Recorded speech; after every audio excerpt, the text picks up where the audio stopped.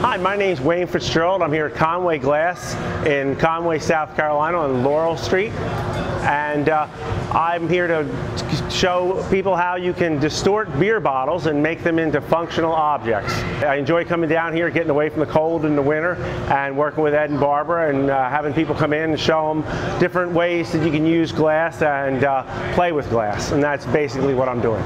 With beer bottles, you have to work around the defects. Uh, some of them are thicker and thinner. The seam lines tend to be a little thinner, and that, that can cause a problem and dictate the shape that they, uh, I can make them into. They don't always want to be what I want them to be.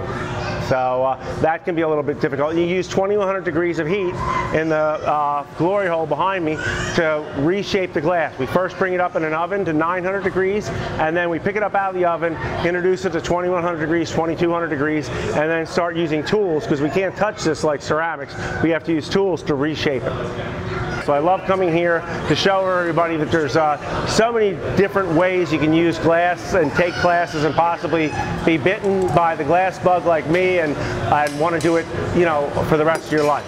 And so that's uh, that's kind of why I come. It's, it's nice. I never thought I'd be an artist. I didn't start till I was 39 years of age, and it's been really fun to be able to uh, create things that people find uh, that they'd love to have in their homes, and that's gratifying.